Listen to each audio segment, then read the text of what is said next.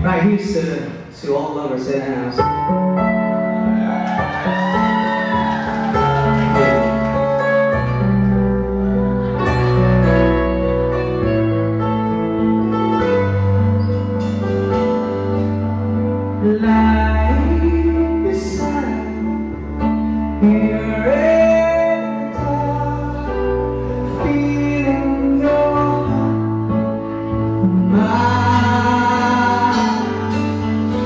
Thank you.